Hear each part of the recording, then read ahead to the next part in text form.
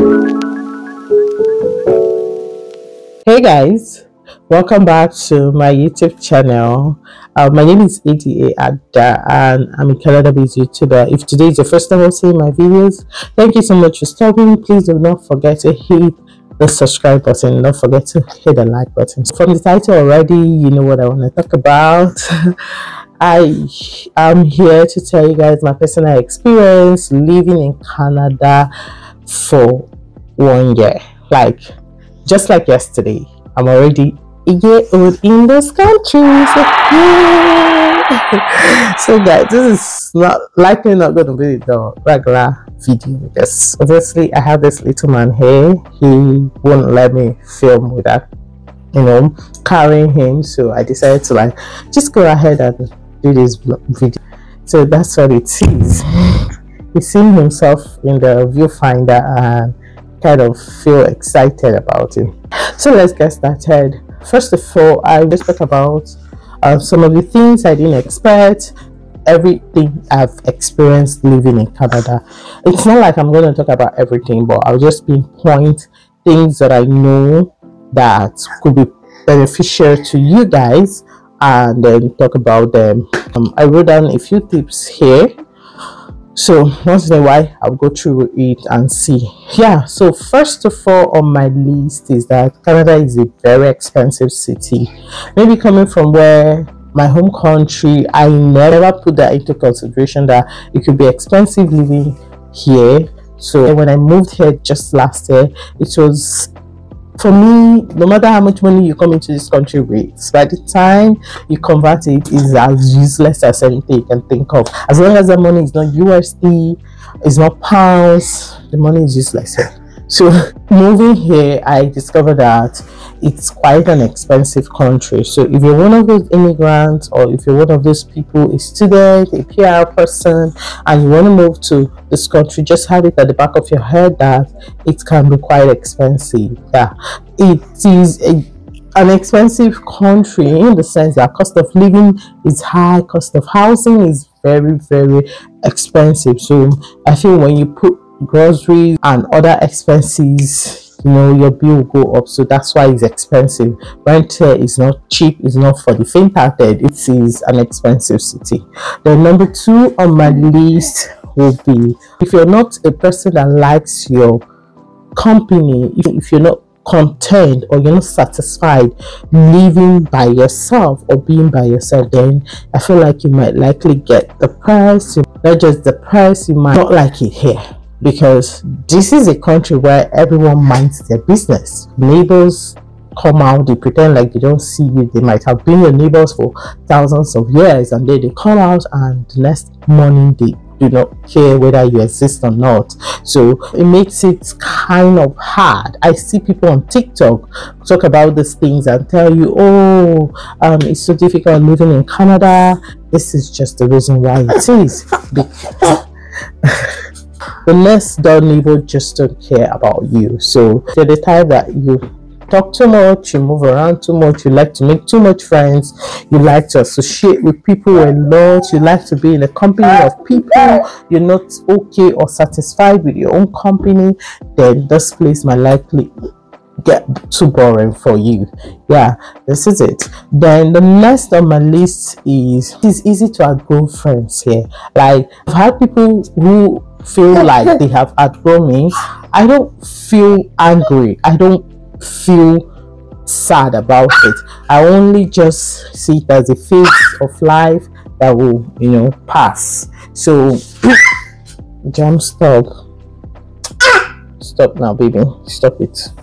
So it is easy for people to outgrow you here and it is and it is also easy for you to you know kind of outgrow other people. So that's ah. how it works here. So it's fine like when you see that happen to you don't feel too bad. At first i didn't like it but after a while i'm like what the fuck? I, I don't care who cares? This is one of the things i notice here that it's not good but in the midst of it what happens? Life goes on. The next thing on my list will be don't expect too much from people not just people friends. Because that way when they start you know acting up it is easy for you to just move away. Because everyone here is busy. You might feel like, oh, this person is supposed to be my friend, this person is supposed to always be there for me. Shit happens, and when it happens, what happens? You have to learn to move on. So do not expect too much. You know, we Nigerians from back home, we are all uh, we feel always entitled. If you expect too much from people and they disappoint you, it becomes very difficult for you. So everyone here is busy. Everyone has one thing or the other. They're chasing. If it's not school it is work it is family. A lot of people here has one thing they are gunning for. And because of that it makes it very difficult for people to you know always always always always be there for you. So when you expect less from people you don't feel entitled because they're your friends. It makes it easy for you to you know move on with life when they are not there or when they are not available to cater for your needs. So one thing I've learned is that not expecting too much from anyone here will like go a long way to save your ass it will go a long way to you know protect your heart from you know uh, being broken. It is easy for anyone to have heartbreak here at the same time i feel like it's just um also good for you to manage your expectation that way. When things happen you just you know transition or move on with life without too much drama or without too much stress or without too much heartbreak.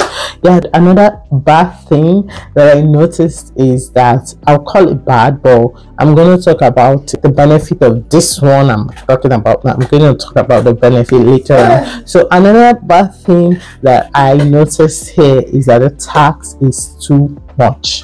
Like you know i know back home that sometimes i keep comparing but i just have to compare. Sometimes back home when they say 7.5 they don't actually take 7.5 but here if they say it's 15 percent they're going to charge you 15 percent. So it is easy for you to come and say oh i want to buy a bottle of water and then you see the price is a dollar 50 cent and then you go to pay and you're saying two dollars 20 something cents and you're like why where did this come? How did this happen? Yeah the 15 percent is applicable to that bottle of water you want to buy. So that's how bad it is.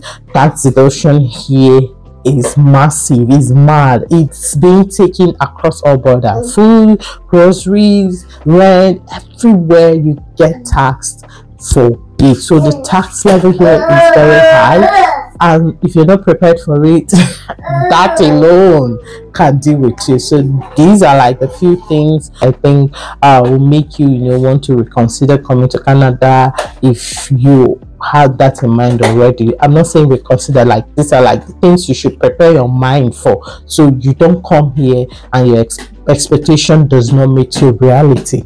Yeah. Another thing um here is housing crisis is everywhere. So it's one thing that people are still finding it difficult you know to deal with. Uh it is now like a normal thing for us here. It's now very easy to say oh my rent is this and this and someone will not look at you.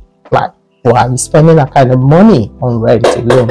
So yeah these are the things that I feel like when I came in here, it was a shocker for me because I wasn't expecting those things I mentioned. I can't remember what my expectations were when I was moving to Canada, but some of the things I mentioned were not on the list of my expectations. I didn't see them coming. Now, another set of things I want to talk about are the good part of living in Canada. This is my favorite part. It the bad might feel so overwhelming, but the good, I kind of try to, you know, balance it. Sometimes I'm like, oh, oh I cannot expect everything, you know, to be rosy, but the good and the bad has to, you know, augment each other. Sometimes they're either on the same level or the good will act shadow the bad. But these part I'm going to talk about are like things that I really enjoy living in Canada for the past one year.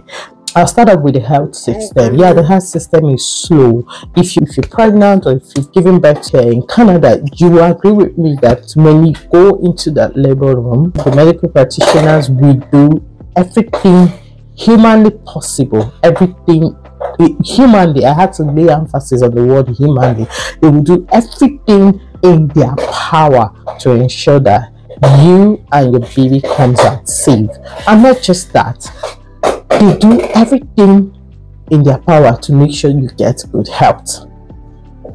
I remember my friend that had an accident and ordinarily if we were back home i don't think by now which is one year later this person would have recovered from that incident but guys i want to assure you that this person um, had to go eh, in eh. for an, a surgery. And this surgery was the eh. best decision the person made. Because if based off of the accident and how it happened if this person hadn't done the surgery I don't think it would have worked out well now. Because back home they would say, Oh, don't do it, don't do it, don't do it, don't do it, it will heal, this will happen, this will happen.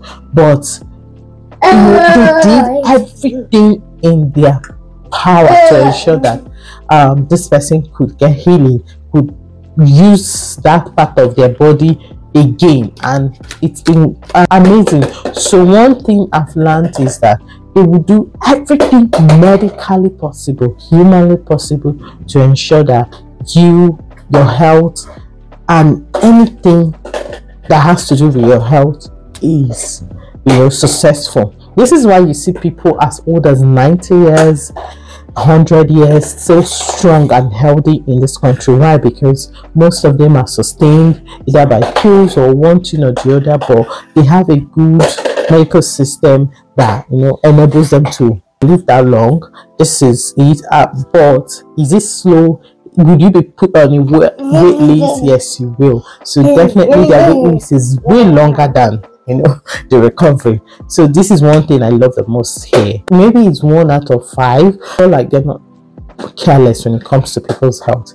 Another thing on my list is security. We all know, guys, we all know that this is a huge part of our human race. So if you're not secured or you don't feel secured in where you're living or in a country of residence, then there's a problem. So I can wake up. I've gone to work several times and I come back uh, late, as late as 12, 1. I'm not scared anybody, you know, will harass me. I'm not scared anybody is gonna, you know, beat me up or take my phone or do anything bad to me.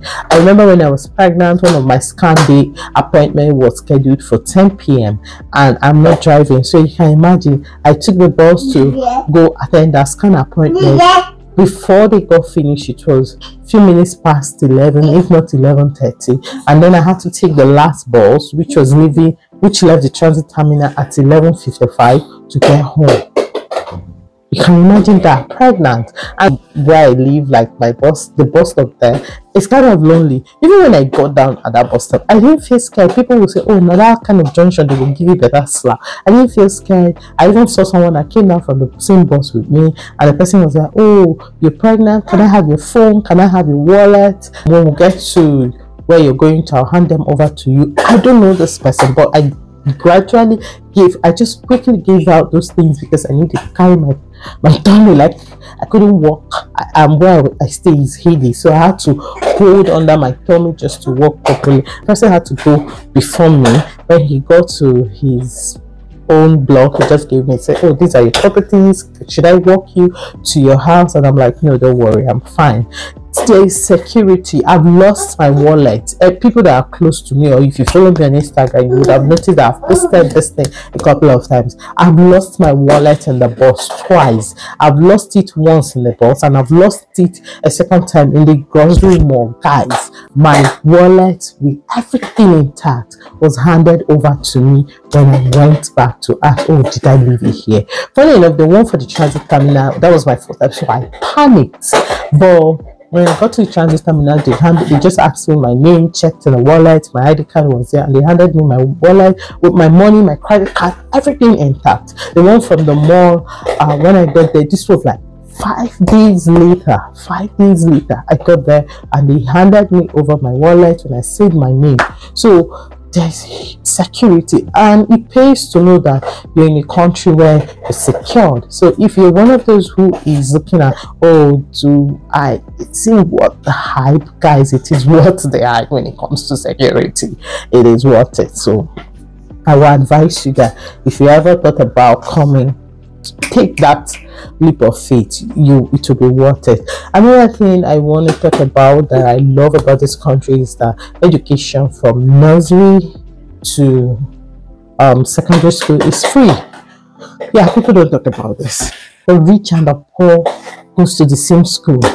This is an opportunity for your children to meet you know very important people you go to the same school there is no segregation there is no oh my father is this my father is that. Everybody is on the same level. It's how much money you will have in this country.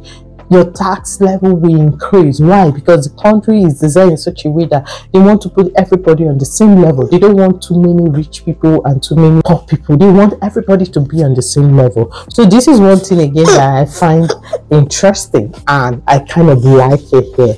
Everybody everybody is treated equally. Everybody is placed on the same level. Yeah. Another thing i want to talk about that i love is the fact that networking works. Like i can refer a friend. My company might be looking for someone and say oh we need this person. What do you think? Do you have anybody you think can do this job? And then i'll say yeah i know mr a and b. What does that mean? And in normal day you might not get the opportunity to you know, work in that company. But because this person knows you and this person is willing to refer you, it gives you a foot into the company. So it's not left. It doesn't mean that you get employed without an interview. No, you just have to do also go through the you know the interview phase. If you pass, they get they get you you know started on the job, they take you, they employ you, and that way it is easy. So the fact that referral works in this country is one thing I love the most again. This is something I really enjoy. Then um another thing I love is that nobody is trying to kill me. When I mean nobody is trying to kill me, I mean that pedestrians when you want to cross the road, pedestrians are the king of the road you guys would say what has that got to do? This has got to do with everything. Like i can't be crossing the road and i'm having high bp or i'm running fever because i'm struggling to see. Just because i walk with my leg I'm, i have to struggle to see how to cross the road. It doesn't make sense to me when i see. So this is something that i kind of like. The fact that i step my feet on the pedestrian walk every car has to stop to let me pass. That is one thing I enjoy living in this country. Another thing I want to talk about is the tax. You know, I did mention it and said is high. Now, everything that is being taken out, you get to see it.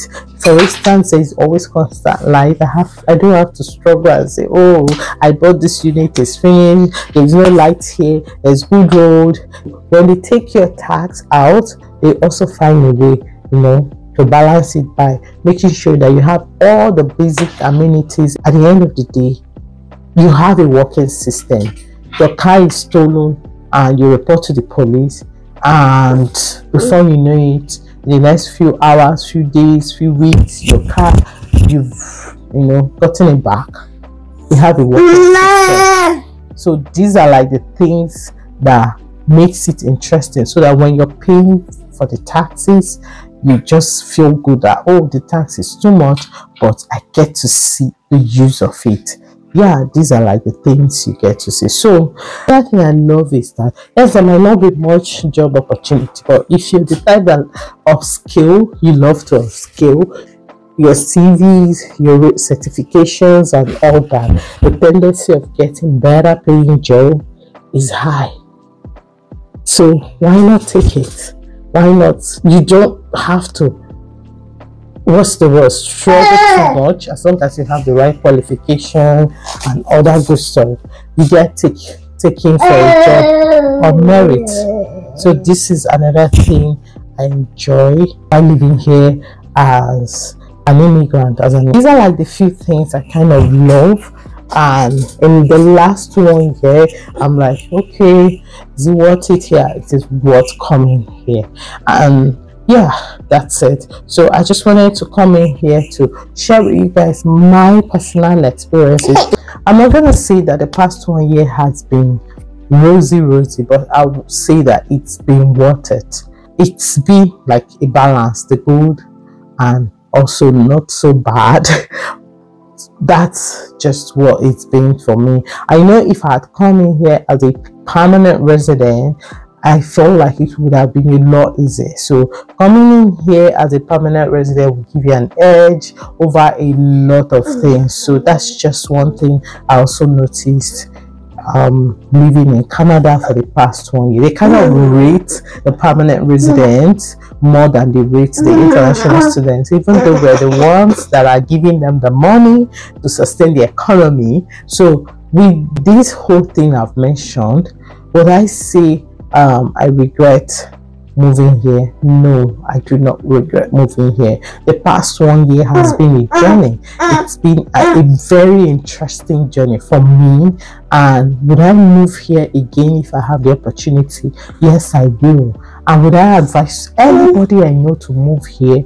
Yes, I will. So it's up to you these are like the things I just wanted to, you know, come in here and share with you guys. I hope this video you find it very useful. If you do, please don't forget to hit that like button. Don't forget to subscribe. And I'll bring this video to an end. I will see you guys in my next video. Bye for now. And I love you guys.